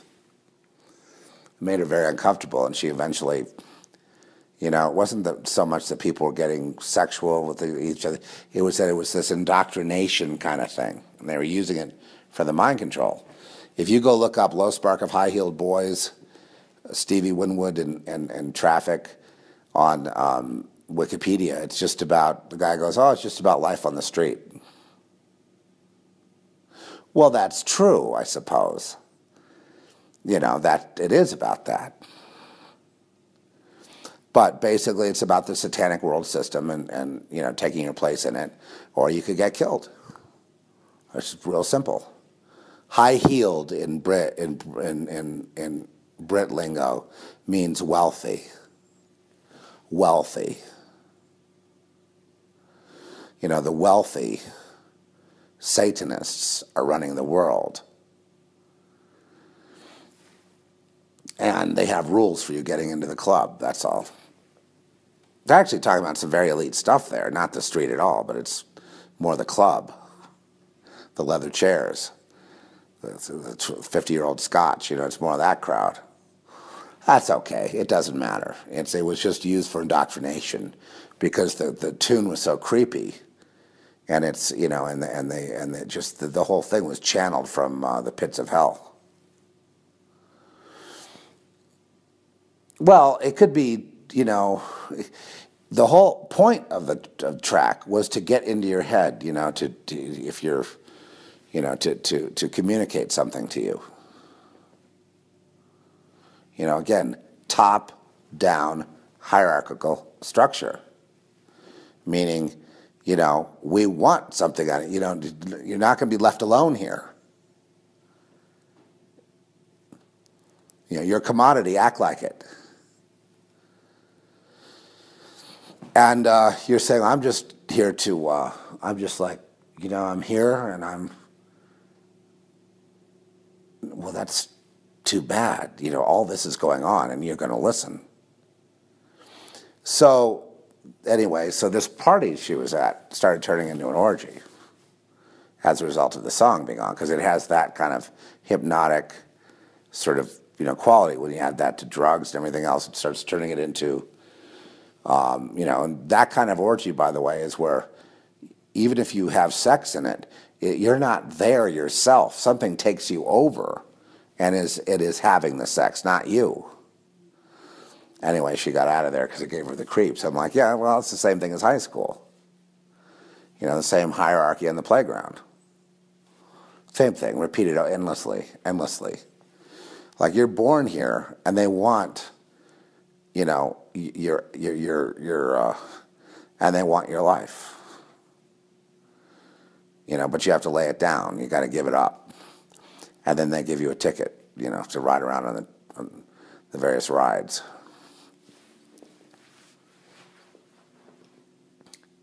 You don't buy a ticket to the world you basically die. And that, if uh, unchecked, that is the second death. That is the uh, unredeemable problem. You know, when dead is dead, dead doesn't come back to life. It's dead, it's gone. So rather than calling yourselves the Grateful Dead, which would be a misunderstanding of, of reality, it should be the un, uh, it should be the uh, the ignorant dead, the stupid dead, the um, dare I say it, the lazy dead, too lazy to actually you know do the basic common sense thinking that would would you know would, would, would put the whole decision in a better light. Um, people end their lives here too young before they ever know what, what life is. They're already giving them up. And with great encouragement from, you know, which then begs the question, brings us to the next level of this thing, which is the people here are basically the dead. So where are we? Are we, may I pose the question? And I know I'm not going to get a, you know, at least I won't get a, I used to get all these glib answers like, well, this is what it is, or that's what it is. No, no. Is this Hades? Did we wind up here? To be in this endless repeat of this being hunted until we finally die again, and then we then do we die again and again and again, or is we're, we're just the sorry dead, or the you know that's it, you're dead, and you know you what you have to look forward to is your funeral, uh, you know here in this in this realm, and then depending on what you do, you go to a worse realm of Hades or a worse realm of hell, or a worse or, or you go to heaven what exactly is this, first of all, before we start talking about the next place? Where you're hunted and, and, and through all kinds of means to use consent to basically die in exchange for some kind of fake ride in a um, you know 10 second uh, uh, you know, a 20 second ride on a bumper car. I mean, what exactly is this? I mean, are we dead somehow? Maybe, you know, I didn't make it out of that coma. I'm dead here, along with everybody else. And is the repetition of the Luciferic cosmogony, that is, the initiatory rites of Lucifer, i.e., is it a soul that he's taking or are the souls already gone? It's the consent that he wants. Somehow that can't be violated. That's the important thing, is the free will, right? That's where the power is. Power to do what? Kill more people? Wreak more havoc? Cause more misery? Is that what rock and roll did? It caused great misery? Did it scalp all the souls of America? And that's why America was conquered? Oh, you're one of those book burning prejudice people. Oh no, I, no, no. I'm I'm looking at what it really is. Come on in, the water is fine.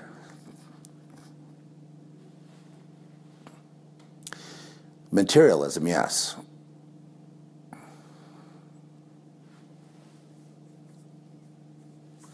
Is that why we have the three to four minute songs now? Because we don't want people to think, we don't want them to feel, we don't want them to go places, we don't want to take them on a journey.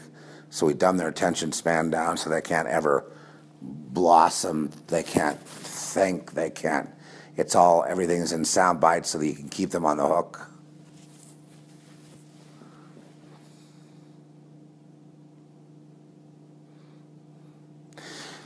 I mean, even if you don't take the Nazi initiation, right, to serve the Nazis and kill your fellow Jews in Auschwitz, even if you don't take that deal of having some filet mignon in exchange for putting them in the gas chambers and, and, and the crematoriums, you know what I mean, being a, a, a, a traitor Jew, right, and you get you get the, the perks, and then you still die.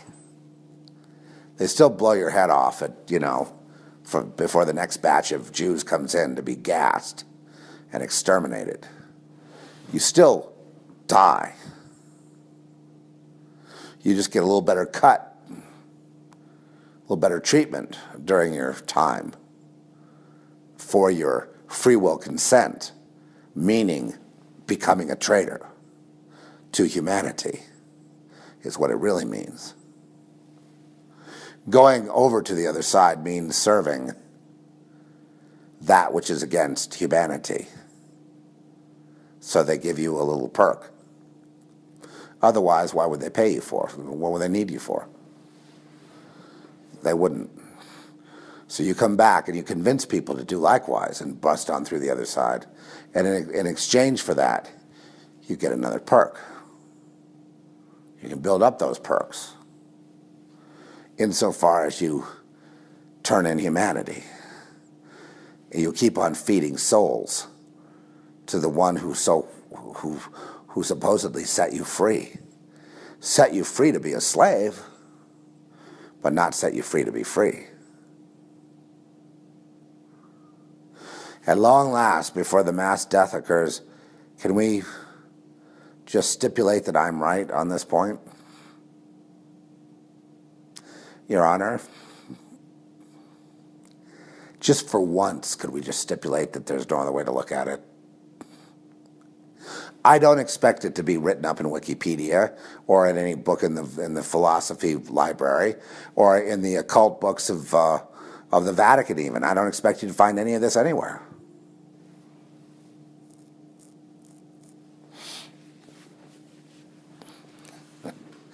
You see, the the nod wink thing is people think they can read about it in a book, forgetting that it's going on everywhere and everything and everyone, and, and it's it's a dynamic that doesn't exist in a in a physical realm.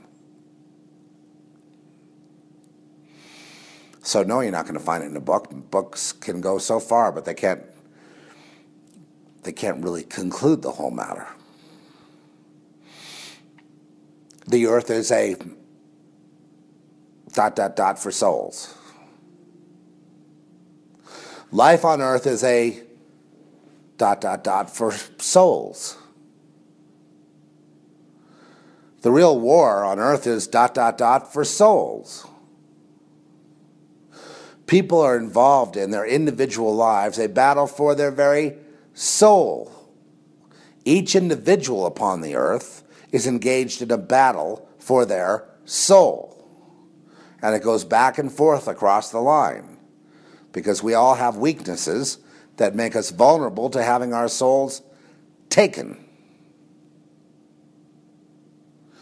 We have weaknesses which can be exploited by the savvy enemy to put us into the realm of the dead and the twice dead. So, of course, I'd want to see all humanity saved from sure destruction. But I mean, if there was destruction, I think people wouldn't mind that so much.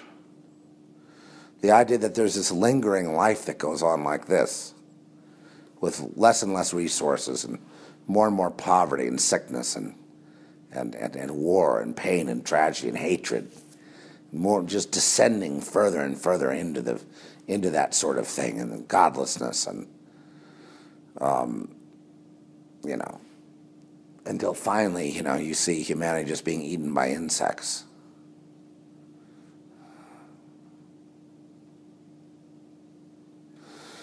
Is it true that if you live a just and chaste, chaste, a chaste life, get your chastity belts out, and have a life of sex denial, that that would save you? The answer is, of course not. Most of the perps in this thing, they didn't like sex anymore. They just get off on violence. I hate to put it that way, but that's how they get off. That's how they, that's how they fly, baby. That's it. It's on violence and destruction of people as a, uh, a mode to power, and power that intoxicates them, and that's what their, that's what their thing is. No, not sex anymore. It's that that is what is sexuality to them. That that's an addiction. Okay, you it slowly, you know, you you go through it in your life until you finally get to that point controlling people, if you will, is the elixir of the, of, of the witchcraft. It's getting control of you. It's you giving your consent to them so they can control you and then agreeing that you'll, you know, just say yes to whatever you're told. And before you know it, you're in. The problem is, not so easy to get out. Especially when you've been, you know, feeding at the trough all these years. How am I going to get out now? Well, if you're meant to get out, God will find a way for you to get out.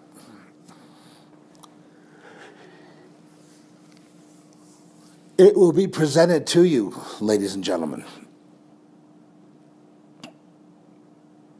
This podcast, the timing of it is supernatural. The fact that it comes into your life and you're being told about all this, and then you're being reminded of what life is all about here. Every single one of us has this struggle, and none, none of us do it right. None of us are noble Sir Galahads here. We're, we're, we're failing all the time. We're giving into weaknesses. We're being weak. We're falling back into lust, into, into thievery, or into lying, or into whatever it is. Well, doesn't that mean all humanity is going to be saved and you shouldn't just yell at Obama and all that because you're well, I yell at Obama. That's my bias. I don't, you know, people like him, I just don't particularly care for, so I'm going to yell at him. You know, he's, he's, he's like a little bright moving object, and it's like, okay, well, let's talk about him then. I could, we could talk about Dick Cheney if you like.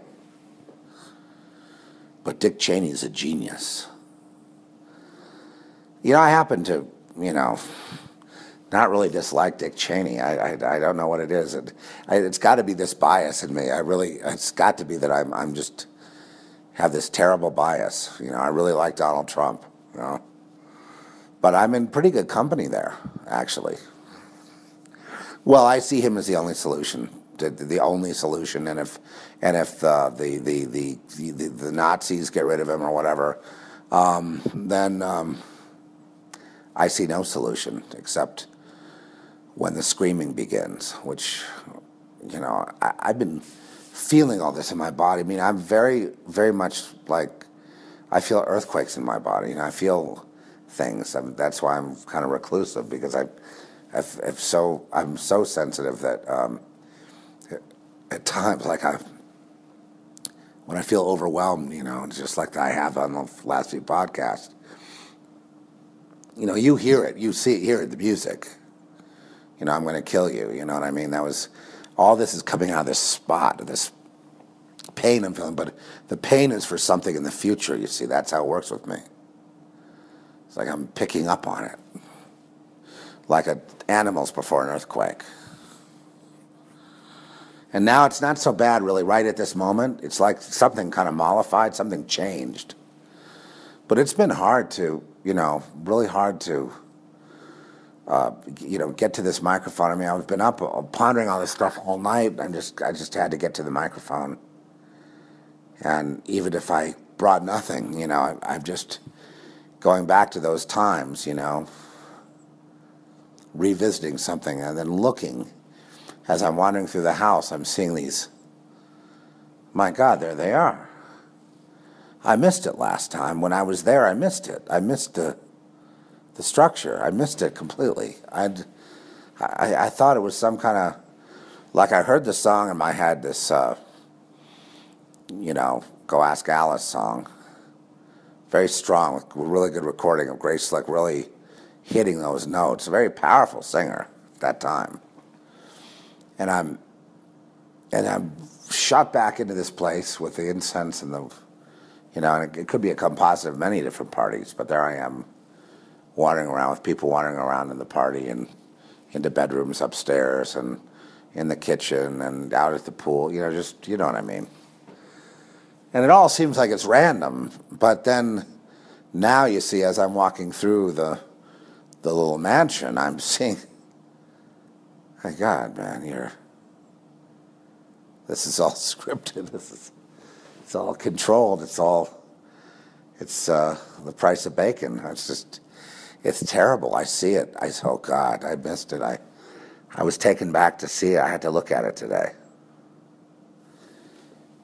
You know, there they are, the people who are assigned, and here are the other people, the ones who they're running after and that's all that's going on. There's nothing else.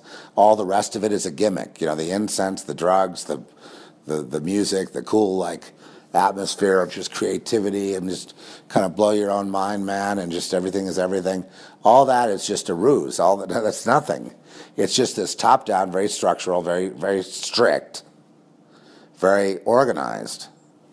Um, you know, uh, industry, business.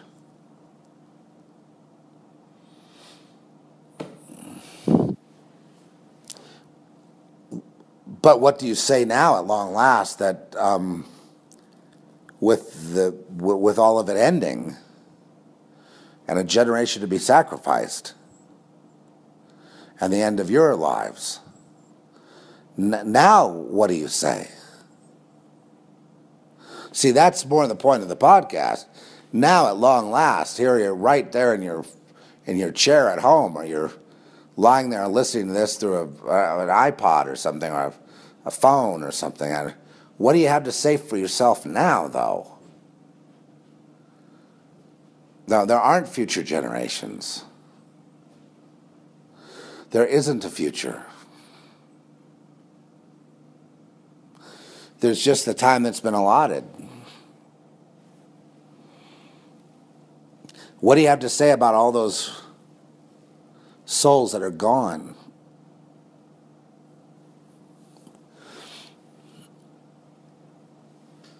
They died, nobody even cared about them, you know. They just, if they had anything, the people fought over what they had to see if they could inherit it or whatever. But I mean, they, they were completely discarded in the last part of their lives. You know, they, they gave of themselves so generously only to be kicked in the teeth and now to be completely killed. What was the point of it all, of being a traitor? To have a little bit of better cut, a little better cut of meat, to live a few seconds longer.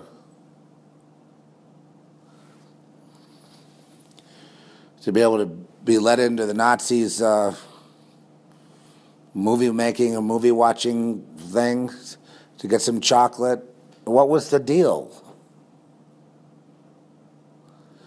Well, I know the answer.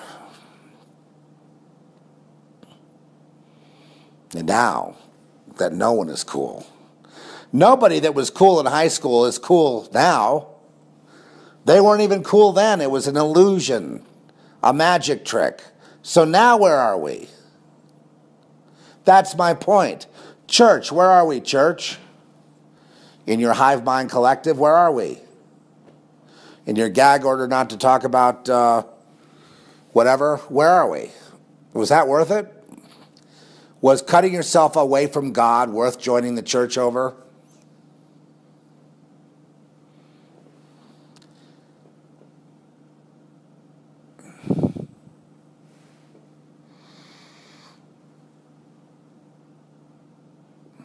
Okay, I must return to sleep.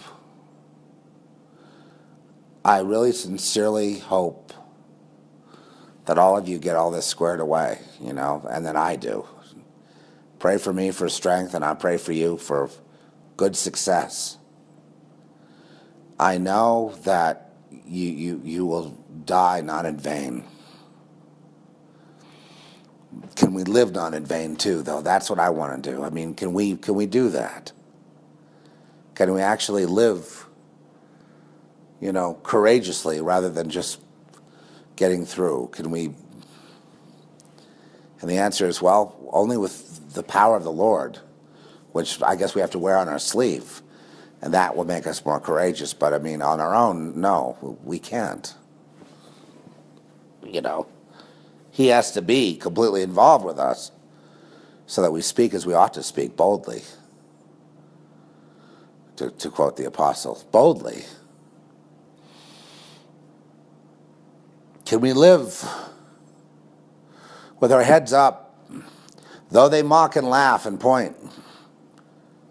Can we look upon them with compassion because we know that what is to befall them is so horrifying? And we know that we are already spoken for. So there's no need for us to enter into a contest with them, rather, to see them as souls on their way to death and to failure and have mercy upon them. Amen.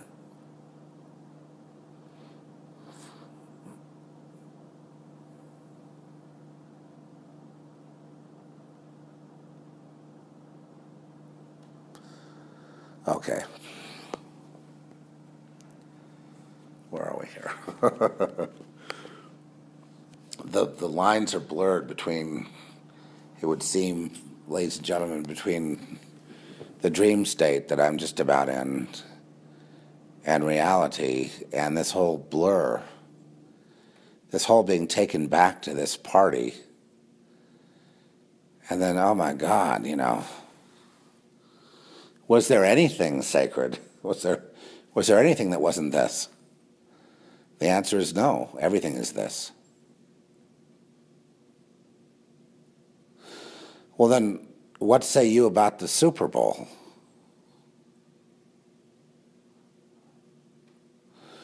We have Lady Gaga doing the national anthem, which to me is the abomination of desolation.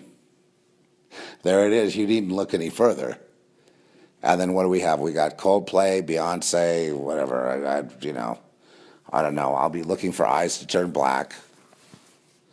I always like it. It seems that the Super Bowl has more demonic activity than anything else all year long. This is number 50, so it's an important date. Will they launch a mass execution of people there? I kind of doubt it because that's sort of obvious, but could there be something else related to it? Sure, there could. But whatever happens, it's all scripted and it's all theater, is it not?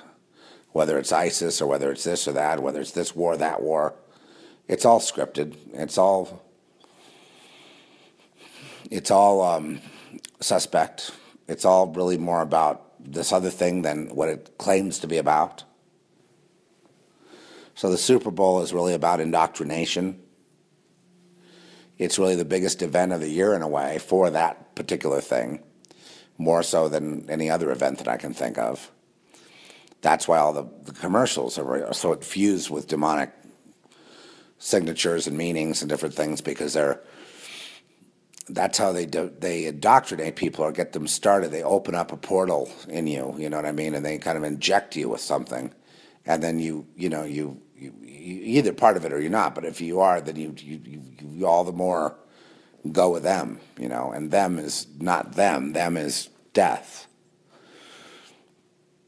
It's almost like a, ma- a mass suicide spell. It's almost like Jonestown, you know. You're, you're right, even though you're not going to die right away, you know, physically. It's, it's an inducement. I was hearing how on Fox News they were so enamored with Beyonce. They, oh, I could have Beyonce all day, but Coldplay, oh, they're terrible. And I was just thinking just the opposite, but, you know, I'm, or I don't care about either one of them.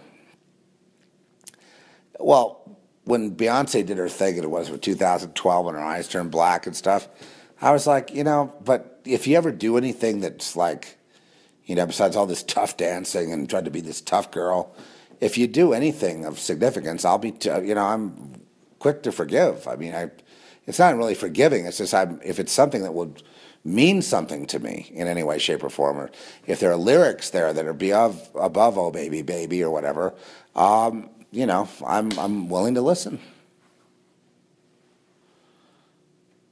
Or above, you know, politically correct pressure, which is what Gaga is, is kind of all about, right? It's it's you know she's Miss PC, Miss Miss Piggy, Miss PC, whatever. That's her role is to really enforce, enforce, enforce, enforce, enforce. Guilt, shame, suffering, whatever. Um, and because of that, you know, they let her run around, you know, as Cinderella. You know, as if she's free doing her own thing. that couldn't be farther from the truth. I would contend, ladies and gentlemen, that every single thing that that person writes and everything they do is pre-scripted. Oh, they're writing it all right. It's them, they're there doing it and going through in their head and saying, ah, let me try this line, let me try this verse. But it, unbeknownst to them, it's completely.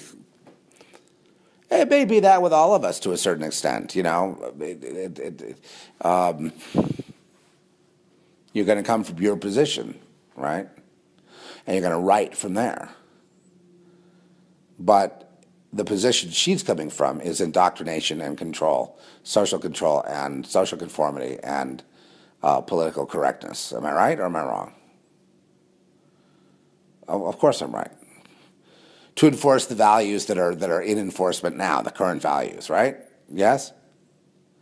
Uh, equality, not you know you know the, the gay thing, no prejudice against that. You know the the race thing. You know all these little memes that they have going. It's enforcing all that, right? So that would be informing all the writing, correct? That's all I meant. Before you think it's someone who's got her hand strapped down, and she's being forced to write lyrics, like uh, being forced to put certain notes in there. It's it's really when you're a willing vessel, it's really just kind of going with the flow. But she's made it incredibly clear to me what side of this equation she's on. Thus and therefore, the things coming from that spiritual realm through her would be the things that I would expect that would promote social conformity, uh, the PC um, totalitarianism, and a willingness to uh, let them have you so that you can be non judgmental and cool.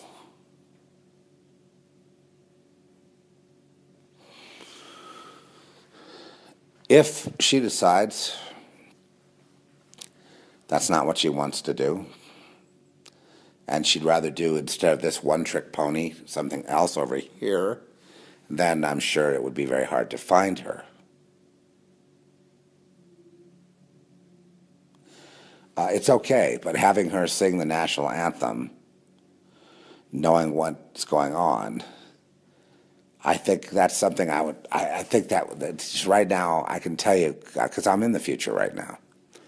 That's a. It's horrifying. It's almost like so diabolical. It's genius. It's like Obama praising Jesus. It's on that level. Or Obama praising the United States of America. Obama saying God bless the United States of America. It's on that level. Right? It's a, right? It's it's the ultimate. It's the penultimate. God bless you, each and every one. I, I know. Well, I say each and every one because I well, I'm okay. God convict you if you're a, a Satanist or a witch or whatever. You try to tune in to figure out what the enemy's up to. I'm not the enemy. I'm the messenger. I try to explain this to people, but they think I'm doing it. And you know, it may be me, but it's also, you know, but it's it's just like them on the other side. They're they're kind of like lock, stock, and barrel. So am I. You know, so what comes from me is going to be this side of things. Informed that way. Well, I don't know. I look. I hope a generation isn't sacrificed. I don't. You know, that's just. I, I don't like to think about awful things like that. You know, like like well, a generation will be sacrificed because of the fact that it's a rebuke to the um, to to to the status quo that you know you're lost, adrift, whatever. But I mean, stranger things have happened throughout history. I think we are to be very arrogant to think that God doesn't punish. God doesn't repay. Well, what are they all involved in? What is our society involved in more than anything else? What I just said about the party, the scalping of souls for Satan, right? I mean, that's basically the, the industry upon the earth. That's what all the music is, and the yelling and the screaming, and all the, you know, programs and all the education and everything. It's all kind of leading to that, right? It's that nexus point to that right rendering human as kind of a commodity. Okay, a container, yes? We're containers. And they want what's contained out of there and in their possession. Not the humans, but who the humans have worked for, the Nazis, let's say, in Auschwitz. You know, their deal is they just want a better cut. So, you know, they get a better cut in exchange for their obedience to the side that's anti human. And that's what I believe is that's the elephant in the room, and I think that's the that's the big the, the, the, this is the ontological and existential problem that we face upon the earth. That unless addressed, which can only be addressed in the spiritual realm because it's a spiritual battle that gets people to consent or not consent. If you lose the spiritual battle, obviously then they got you. Well, if it wasn't for God, they would have had me a million times over. So it's no virtue, you know.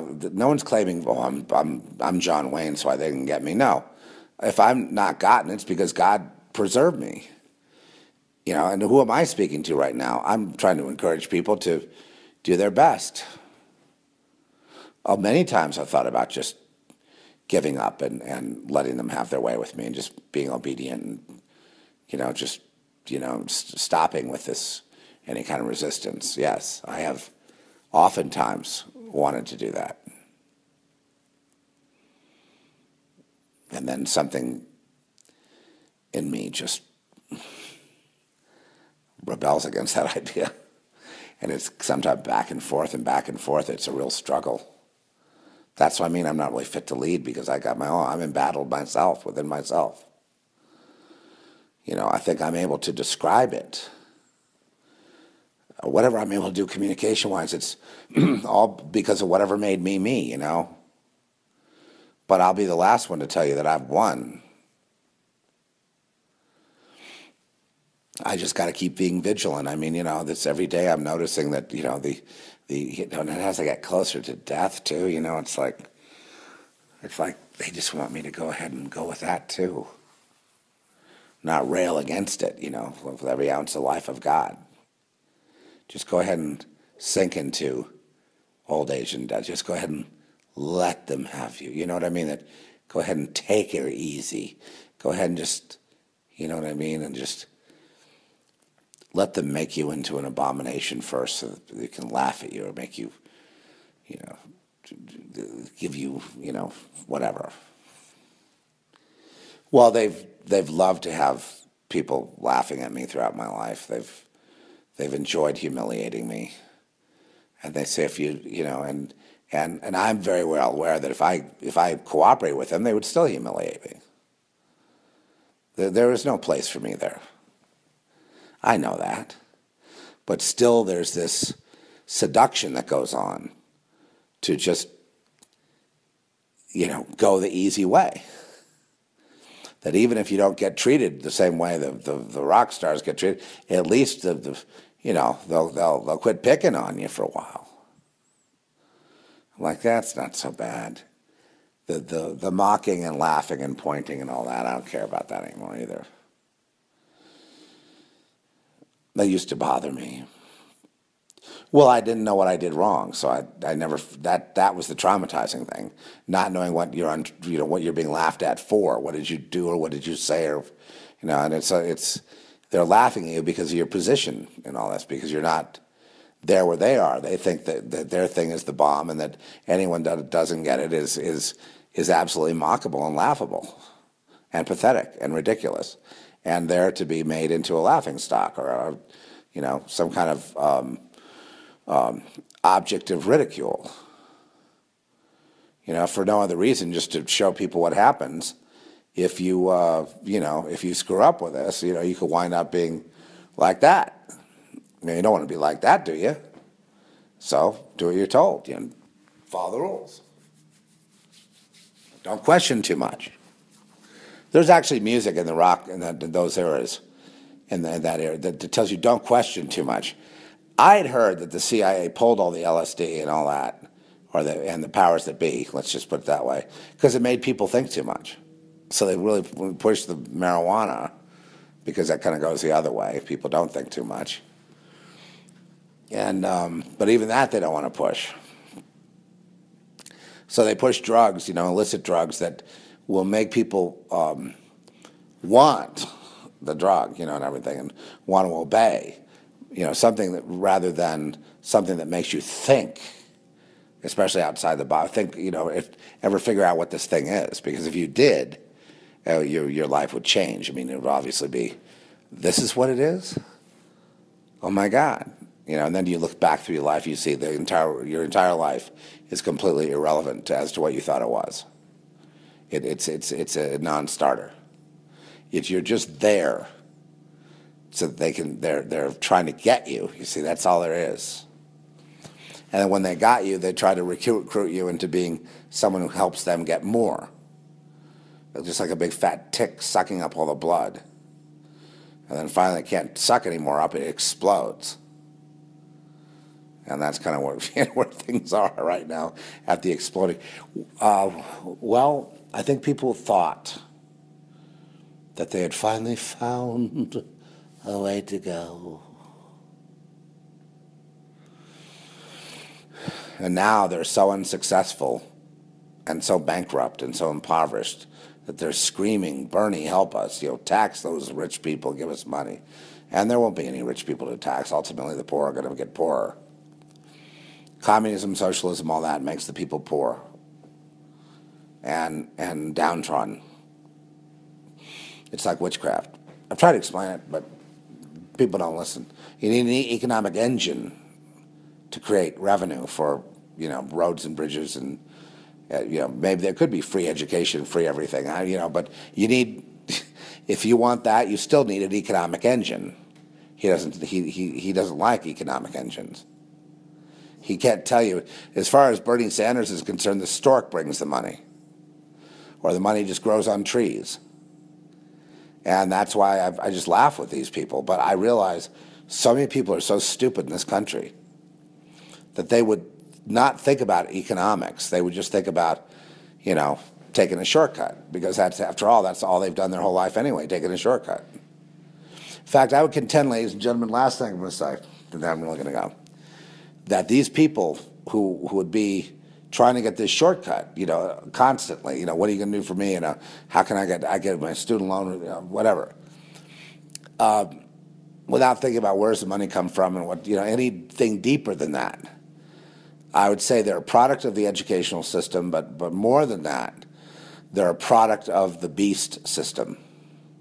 You know, completely dumbed down, completely vapid, you know, airhead, whatever, just just stupid as all get out and just like a hive mind, you know, whatever the group says, you know, they just do. Group think, group mind, group control. And, you know, Invasion of the Body Snatchers was, was the best allegory because it just basically says once you're conformed to the system like that, your job is to go out and find others who are not until you get them all, and then the whole thing breaks, and then that's the end of it. Then they start the game all over again. I just wonder if anybody knows that. And it's as typical. All you people listening in here, the Zephyr, you all know this already. But the people out there, I guess they know it on some level, but because they're participating in it, being that they're on the wrong side, they feel guilty at some part of their being for being a traitor, right? Uh, but because there's so many of them, they feel like it's okay, not realizing that the piper is going to have to be paid one of these days. Just like when I went back and I walked through this little mansion in Hancock Park with this party because mom and dad just happened to be gone that weekend. And then I saw all of it, all the structure. Oh my God. How could I have been such a fool? Thinking things were free. You know, free love, free drugs, hanging out. I don't advocate drugs at all to anybody. The drugs are another snare like anything else. It's bondage. They offered me pain pills um, when I had a cyst removed on my back. I, I wouldn't take them. Don't want it because I know what it leads to. Because I know it, I know it's, it's, it's I don't need it. I'm not going to take it. You know. All right. See you next time. I love you. I'm praying for you. And well, I pray right now, Lord, in Jesus' name. I I pray that the people having a tough time for listening, and I pray the Lord just takes that tough time off you right now and gives you a perspective, so you can just laugh. At, you know, and I pray for me too that I have that. You know, because it doesn't matter all the opportunities you have or all the blessings you have if you can't laugh, if you're beleaguered, if you're if you're inundated, if you've you feel it's you feel that terrible dread in your in your bones and in your soul, then you know despite all the blessings you have, they're no good because you're vexed. And I pray for that vexation to be taken off of you and off of me because